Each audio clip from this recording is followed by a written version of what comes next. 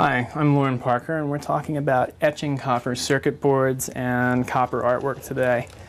Um, here is our, here's our cuprous chloride uh, solution. What I did to make this batch is I just mixed up one half of the 33% muriatic acid, one part of that, to one part of hydrogen peroxide 3% solution.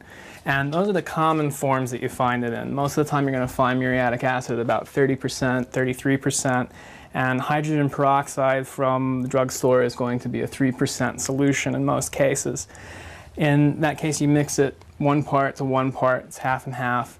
And after I've added some copper, it turns green like this. You can keep on using the solution over and over and over again um, just recharging it every once in a while with just a little bit more of the ingredients, but it'll, it'll keep on etching for years to come.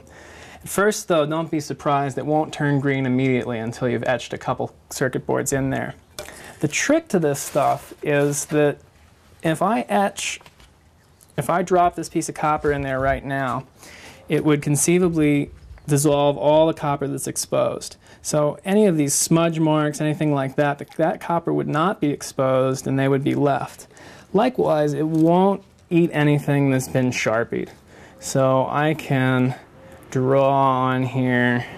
We'll just make that and I'll plug my website.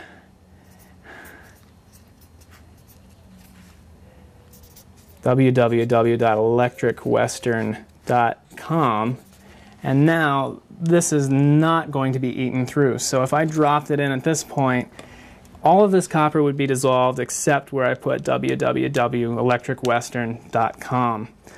In addition to Sharpie, we can also print things out on transfer sheets.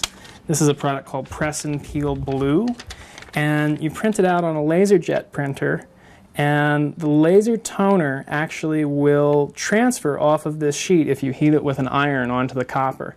It transfers the image, in this case a circuit board image, transfers the image onto the copper, and then I drop it into the bath and anywhere where this image is transferred, where the toner has stuck via the iron transfer, then we are going to have copper anywhere where there is a space, we are going to have the fiberglass that lies underneath this copper. All that copper is going to be eaten up. So the ink we put on top to protect the copper and prevent it from being eaten is called the resist.